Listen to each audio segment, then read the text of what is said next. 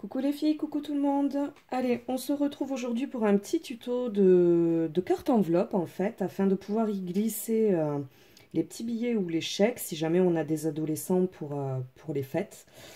Puisqu'à cet âge-là, euh, ils commencent à apprécier d'avoir de l'argent pour pouvoir s'acheter eux-mêmes leurs cadeaux. Donc voilà, l'année dernière, j'ai été confrontée au fait, j'en ai trouvé des tutos, c'était pas un problème. Mais euh, j'étais débutante, ça me paraissait soit trop sophistiqué, soit trop long à faire. Donc du coup, voilà, cette année, euh, je m'y suis pris en amont. Je suis tombée sur une image euh, dans mon Instagram. Alors, je saurais plus vous dire quel compte c'était. Je crois que c'est sur la page de Minté, les papiers Minté.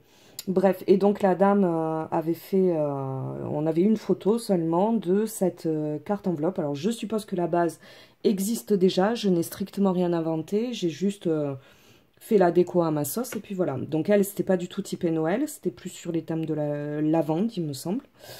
Mais voilà, j'avais pensé que c'était sympa comme idée, et du coup, euh, je m'étais dit, ok, je garde l'idée pour, euh, pour Noël qui arrive, puisque forcément, hein, ils vont pas avoir changé, les petits adolescents, ils vont nous réclamer la même chose que l'année précédente.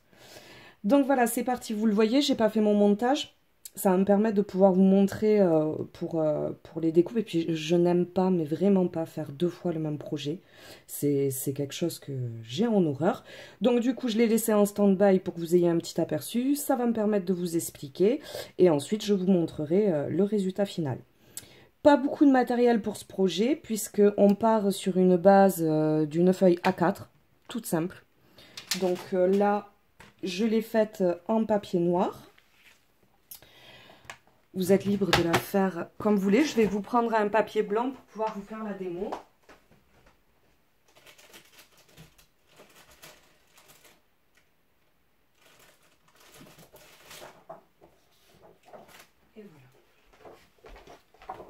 Me revoilà. Donc c'est parti, notre feuille à 4. Hop. Pour démarrer dans le sens portrait, on la coupe directement à 15 aucun pli dans ce sens-là. On coupe tout droit et on n'y pense plus. On garde la chute. Elle va nous servir pour l'intérieur. Dans l'autre sens.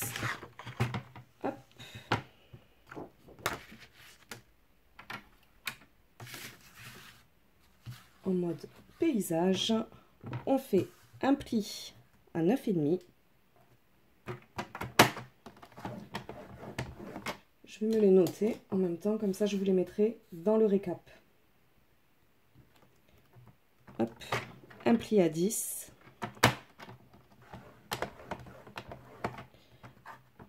Un pli à 19,5.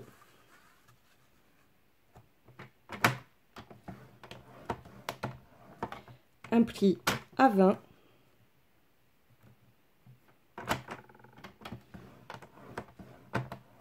et on garde le reste.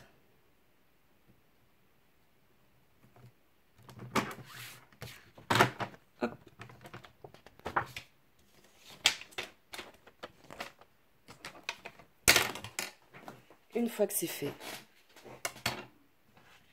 on marque nos plis. Est-ce que je vous les note? Allez, on va les noter vite fait. 9,5, 10, 19 et demi 20 hop. On les marque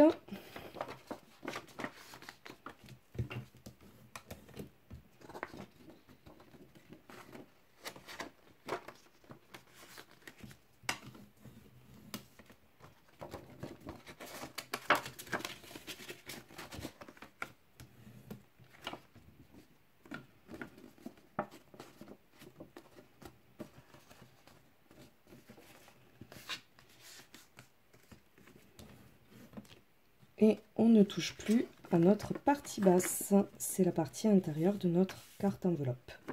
La partie haute, on reprend donc à notre pli à 20 et ce qui nous restait et on vient tracer le milieu. On fait un petit repère. Hop, à 7,5. Ici, on part du pli. Et on fait un repère à... Euh, Bonne question, je ne me le suis pas noté. 4,5.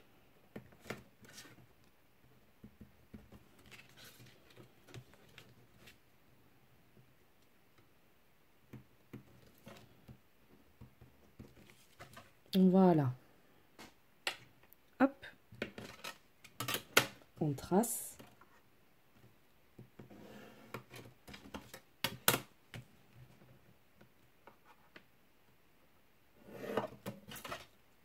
Et on coupe.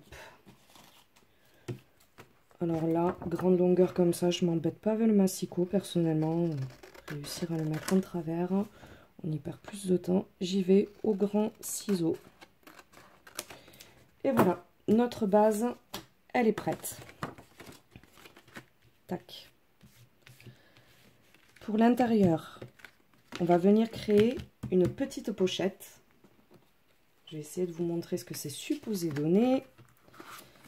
Hop. Voilà, on vient créer en fait une petite languette pour pouvoir venir glisser quelques petits tags, si on a envie et justement le billet ou, euh, ou le chèque. Donc c'est là qu'on reprend notre chute.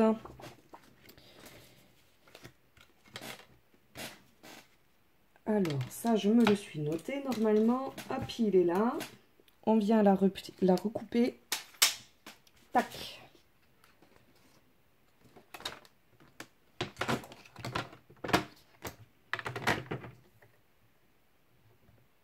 à 6. Elle est déjà à 6. Ah, Sandy, t'es pas maline. On vient lui faire un pli à 1.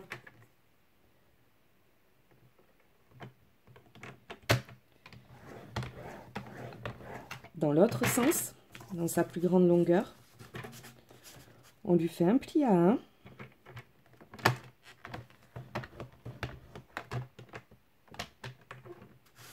Un pli à 16 et on coupe à 17.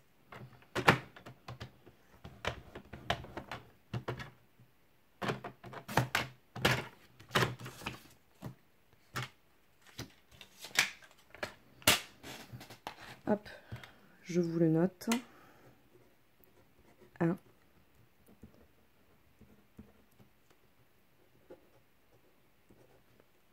Donc ça fait 1, 16, 17 et on est sur du 17 par 6. Une fois que c'est fait, hop, où sont mes petits ciseaux dans mon bazar? Là, il y en a une paire. Petits ciseaux, hop, on y pointe les angles.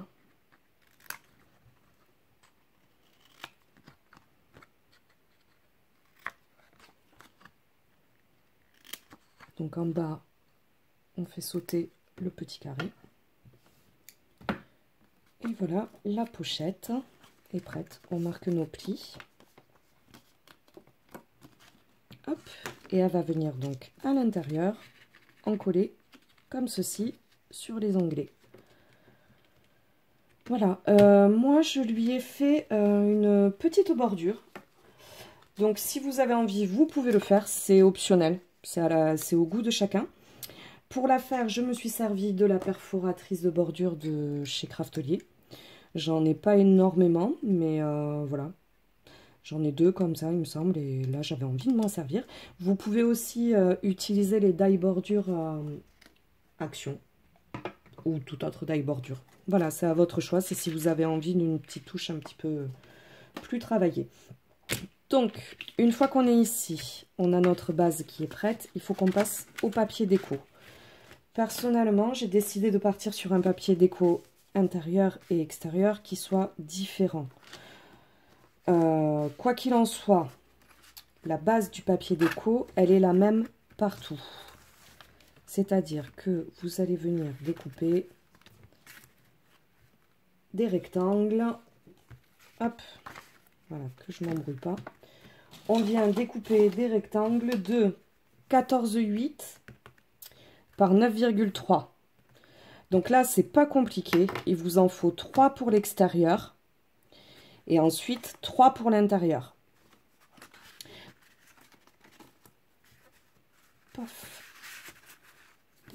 Je vais vous le noter, on ne sait jamais. 14,8 par 9,3. Il en faut 3 intérieurs et 3 extérieurs. Là, rien de bien compliqué. Pour le triangle, pour la partie haute de notre enveloppe, c'est pas très dur. Euh, je vais le tracer là-dessus, même si j'ai pas besoin de le couper, vu que moi je les ai déjà coupés. Donc vous prenez votre papier motif qui fait 14,8 par 9,3. Hop. Pour la partie extérieure, en extérieur, vous venez mesurer le milieu ici. Vous faites un repère, donc 7,4. Puis vous venez faire un petit repère sur les parties en haut à 4,3.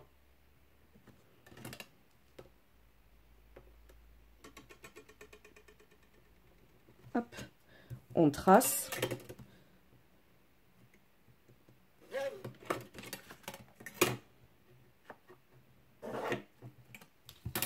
Et on coupe.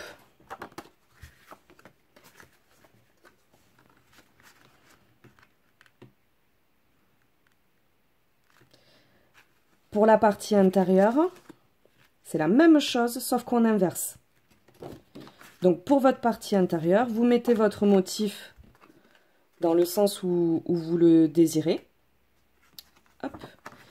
Et du coup, vous venez par contre cette fois faire votre repère en haut et non plus en bas à 7,4. Puis en partant du bas, vous faites un repère à 4,3 et vous faites comme tout à l'heure, vous coupez, c'est prêt à être encollé. Petite astuce pour euh, économiser du papier motif, ça dépend dans quel papier motif vous allez démarrer. Moi, je suis partie sur les blocs action 15 par 30, forcément, j'avais des chutes. Pour mon, dernier rectangle intérieur, comme on est venu mettre notre, euh, notre petite pochette, euh, je n'ai pas besoin de toute la dimension. Donc là, ce que j'ai fait, ben, c'est simple. J'ai pris une chute que j'avais, un des morceaux de chute que j'avais pour éviter d'entamer une nouvelle feuille. Euh, et, j'ai veillé en fait à ce que à ce que ça tombe à l'intérieur de ma pochette. Voilà, tout simplement. Donc à partir de là, ben, on passe à la déco. Euh, la déco, elle est assez individuelle, donc ça, je vais vous laisser le gérer. Je peux vous dire que j'ai prévu personnellement euh, 10 mètres. Hop, ils sont où? Ils sont par là. Je les ai enfouis sous mon tralala. Voilà, je me suis fabriqué des petits angles dans du papier argenté avec, ben, pareil, perforatrice de chez Craftelier qui permet de faire les angles. Donc je vais venir les coller ici à l'intérieur euh, sur ma partie centrale afin de pouvoir y glisser une petite carte avec un petit mot personnalisé. Donc, euh, donc voilà, donc j'en ai fait 4. Euh, je vais faire la fermeture par aimant. Mais ça, encore une fois, c'est un choix totalement personnel. Vous pouvez très bien venir y mettre du ruban. Euh, un ruban ici, un ruban euh, en bas sur votre tranche. Hop. Mettez une ficelle ou un ruban, euh, hop, c'est... Voilà. Vous pouvez aussi, j'ai pas pensé à vous le dire, vous n'êtes pas obligé d'avoir votre pointe qui arrive en bas. Hein. Vous pouvez très bien décider de rétrécir. À ce moment-là, vous adaptez la taille de votre papier. Ensuite, c'est simple. C'est toujours, on prend le milieu, on fait un triangle. C'est pas bien compliqué. Et puis, euh, et puis voilà, donc moi là je vais encoller mes aimants, donc, euh, donc je vais en mettre un là sous mon papier et puis un ici sous celui-là, afin que ça se clipse. Donc pensez à votre système de fermeture en amont et n'oubliez surtout pas de l'y intégrer. Voilà, je vous mets en pause le temps de me finir tout ça, faire ma petite déco et puis je vous montre le résultat final. Euh, voyons voir. Super, encore un petit tuto de 15 minutes, c'est génial, c'est pas trop long. J'espère que ça vous aura plu. Euh, Pensez à vous abonner à la chaîne si c'est le cas, mettre un petit like et n'hésitez pas à nous retrouver sur le groupe euh, Les Ateliers de Didi sur Facebook si ça vous dit de venir papoter avec nous. Voilà, je vous embrasse et je vous dis à plus tard. Ciao